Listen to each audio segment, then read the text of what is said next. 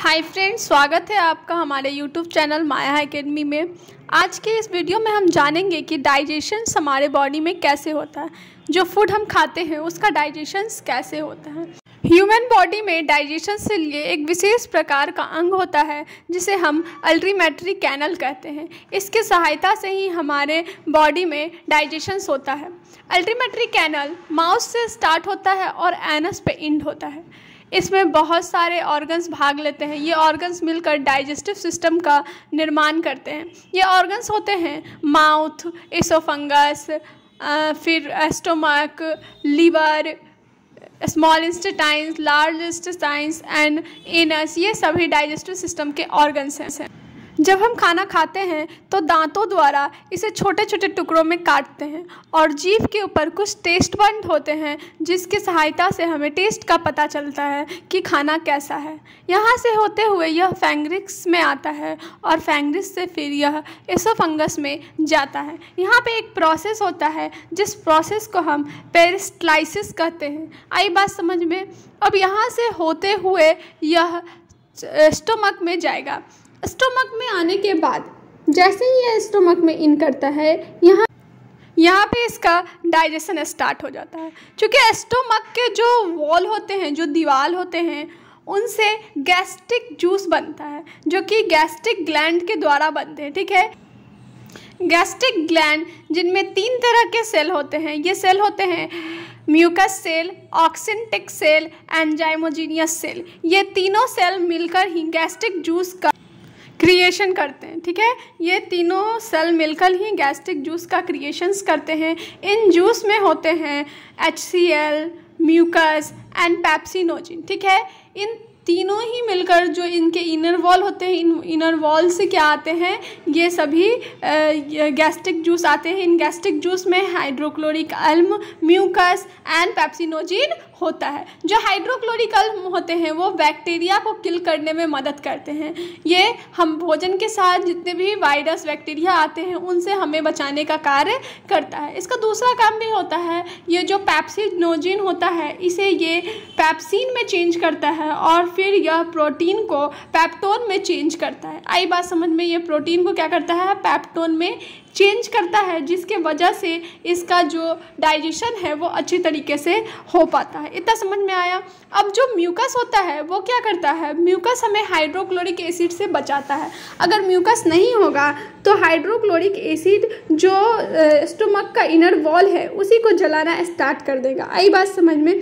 तो hydrochloric acid से mucus बचाता है। कभी कभी जब हम लंबे समय तक भूखे रहते हैं तो उस समय ऐसा होता है लंबे समय तक भूखे रहने के कारण जो हाइड्रोक्लोरिक एसिड होता है, वो हमारे एस्टोमक के इनर वॉल को जलाने लगता है, जिससे कि अल्सर पैप्टिक होता है। इसीलिए कभी भी लंबे समय तक भूखे नहीं रहना चाहिए।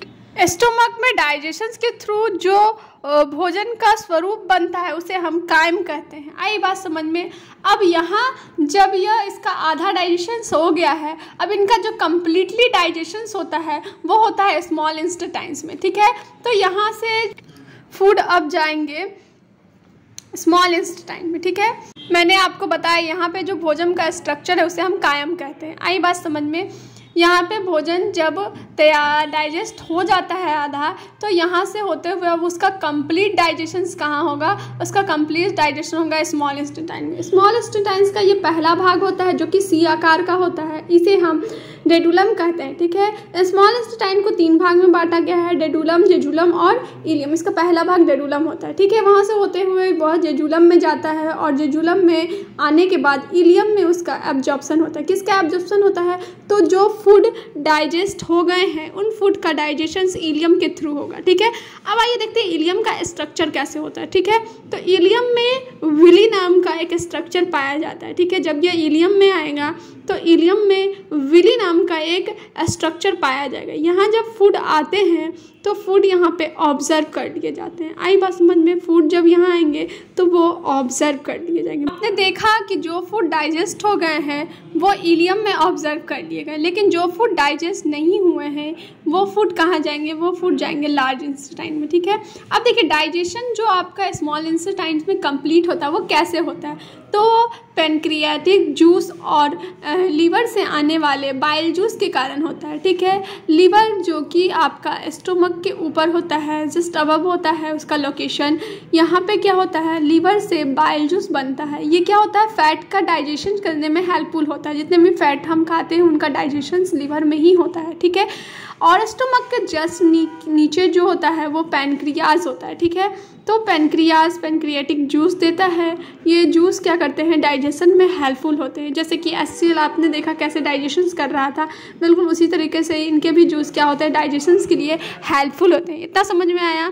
अब इनके मदद से डाइजेशन और भी ईजली तरीके से होता है। यहाँ से जो जूस आते हैं और जो आपका लीवर से जो जूस आते हैं, उन दोनों जूस के मदद से स्मॉल इंस्टेटाइंस में डाइजेशंस होता है। अब जब यहाँ पे कंप्लीट डाइजेशंस हो जाता है तो मैंने आपको बताया, जितने भी डाइजेस्टिव फ़ूड होते हैं, जो कि कंप्लीट जिनका डाइजेशंस हो गया है, उन डाइजे उन डाइजेस्टिव फ़ूड को इलियम में जाकर एब्जॉर्ब कर लिया जाता है। ठीक है, यह स्मॉल इंस्टेटाइन का एक भाग है। यहाँ पे ये जो विली हैं वो क्या करते हैं, जो डाइजेस्टिव फ़ूड हैं, उनको एब्जॉर्ब कर लेते हैं, ठीक है? और एब्जॉर्ब करके वहाँ उसको कहाँ भेजते हैं? तो एब्जॉर्ब जब ये फ़ूड को एब्जॉर्ब करते हैं तो एब्जॉर्ब फ़ूड को ये हमारे ब्लड में भेज देते हैं, जो कि ऑल बॉडी में न्यूट्रिशंस देता है और हमें एनर्जी फील होती है, ठीक है? जिसके थ्रू हम काम कर पाते हैं। तो जितने भी फ़ूड डाइजेस्ट होते हैं, उन्हीं के थ्रू हमको एनर्जी मिलती है, ठीक है? ये डाइजेस्टिव फ़ूड फिर कहाँ जाएँगे? हमारे प्रत्येक सेल में जाएँगे और वहाँ पर ब्रेक डाउन होकर हमें एटीपी एनर्जी देंगे जिससे कि हमें ताकत मिलती है और हम किसी भी वर्क को ईजिली तरीके से कर पाते हैं, हमें एनर्जी मिलती है, ठीक है? लेकिन जो अनडाइजेस्टेड फ़ूड है, वो कहाँ जाएँगे अब? लार्ज इंस्टेटाइन्स में। लार्ज इंस्टेटाइन्स को दो भाग में बांटा गया है। पहला रेक्टम और दूसरा कोलम तो जिस रास्ते ये जाते हैं, उसे हम कोलम कहते हैं और जहाँ पर ये जाने के बाद स्टोर होते हैं, वहाँ हम रेक्टम कहते हैं। ये अनडाइजेस्टेड फ़ूड वहीं पर स्टोर होते रहते हैं और फिर जाकर यह एन के थ्रू हमारे बॉडी से बाहर रिमूव हो जाते हैं। आई बात समझ में? एनएस के रास्ते ही हमारे बॉडी से रिमूव हो जाता है। तो आपने देखा कि कैसे अल्ट्रीमेट्री कैनल जो था माउथ से स्टार्ट होकर स्टोमक और स्टोमक से होते हुए ये क्या लार्जेस्ट टाइम्स और फिर एनस पे जाके इन हो गया। इसी तरीके से हमारे पूरे बॉडी में डाइजेशंस होता है और खाना पचता है। इतना बात समझ में आया आपको?